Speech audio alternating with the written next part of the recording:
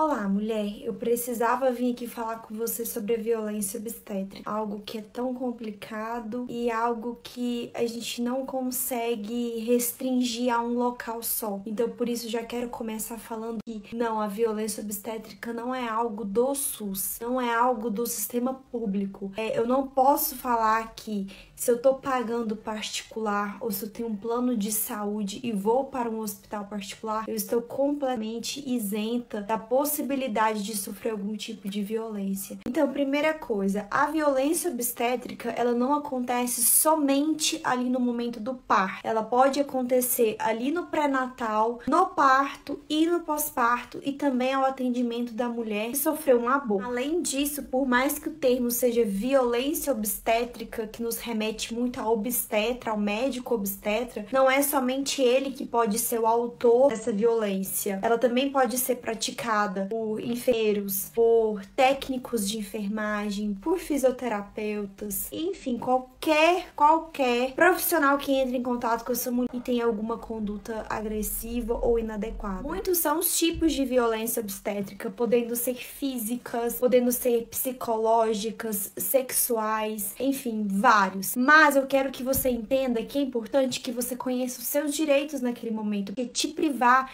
de algum direito também é uma forma de violência obstétrica. Um exemplo: você tem o direito a se alimentar durante o trabalho de parto, se não há nenhuma contraindicação absoluta para isso. Então, se é negado a você esse alimento, é um tipo de violência. E o que eu vou falar aqui agora não é regra, tá?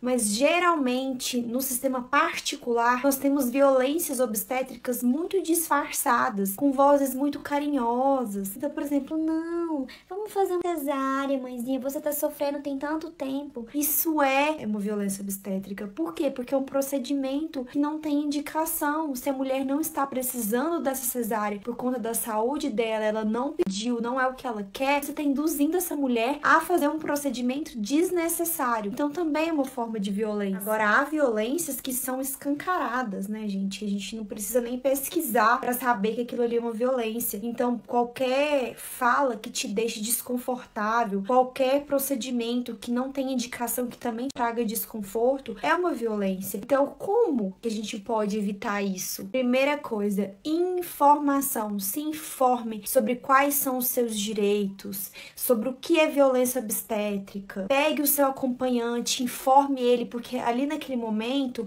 a mulher fica muito vulnerável. Então, o acompanhante tem que ser o porto seguro dela, tem que ser o guardião mesmo. Se ele notar alguma coisa de diferente, é, ele pode intervir, ele pode reclamar. Tem locais que a gente pode denunciar, vai um post sobre isso, porque varia se é público, se é privado, mas enfim, você tem que denunciar. Se você tem a possibilidade de escolher também a sua equipe, busque referências, conversar com outras mulheres que já foram assistidas por essa equipe, onde você vai ter o bebê, encontrar mulheres que também tiveram o bebê nesse mesmo hospital. E uma ferramenta que eu acho incrível é o plano de parto